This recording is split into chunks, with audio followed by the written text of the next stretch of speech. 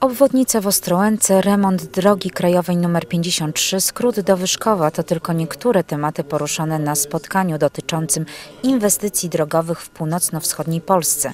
Samorządowcy z Mazowsza, Podlasia, Warmii i Mazur dyskutowali m.in. o planach rządowych i wojewódzkich związanych z infrastrukturą drogową. Trwa nabór wniosków e, o dofinansowanie inwestycji na drogach samorządowych. W roku 2013 ko- będzie kontynuacja programu mostowego.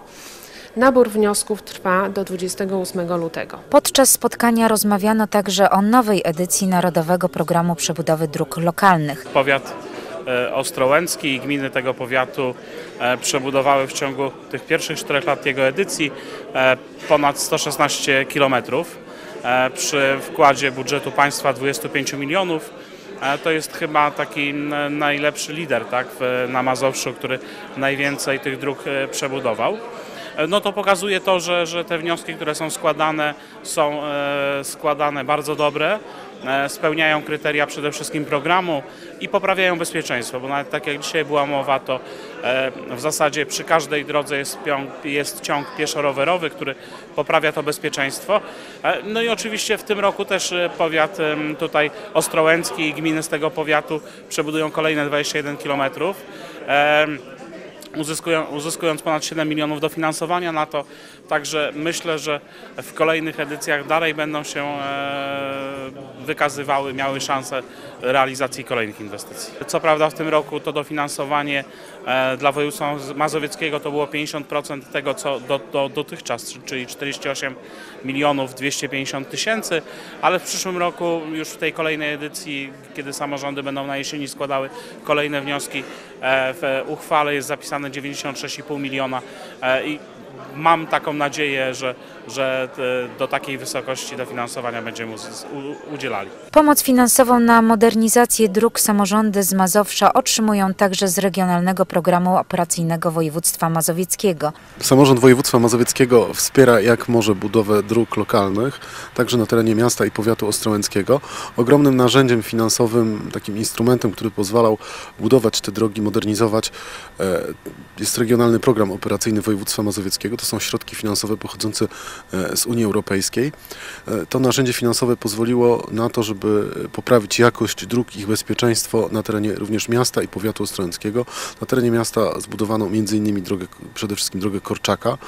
E, Na terenie e, powiatu ostrołęckiego e, powstało kilka dróg z Regionalnego Programu Operacyjnego, których inwestorem, wykonawcą był powiat ostrołęcki, i, a także niektóre gminy.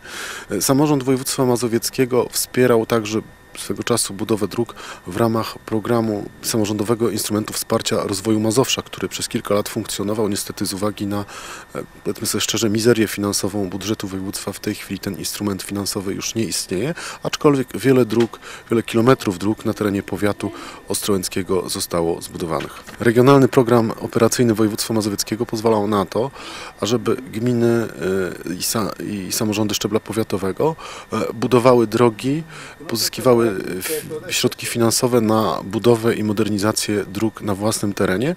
Oczywiście występował tam udział własny tych samorządów e, w zależności od tego, jaka to była droga, od 15 do 50% udział własny. Resztę dofinansowania pochodziło ze środków unijnych w ramach Regionalnego Programu Operacyjnego Województwa Mazowieckiego.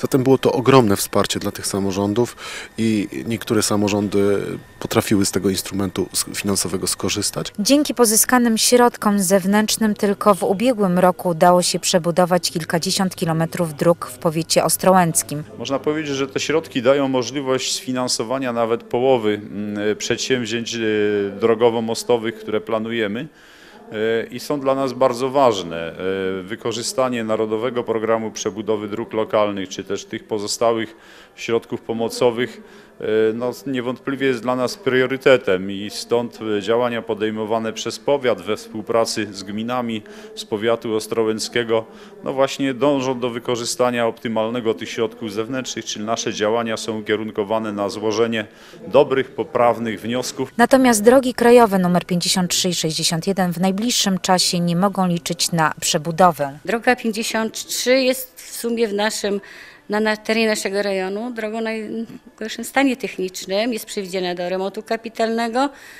Y, Z planów, które opracowała centrala, jest na pozycji 220 w- na ogólną liczbę 900. Planowana remont 2017 rok. Dobrze by było, gdyby tak się zdarzyło. W tym roku, 2013, na 53 wykonamy 3,7 km e, remontu, takiego głębszego, niecząstkowego. Jest to przejście przez Myszyniec i kilometr 600 na szlaku.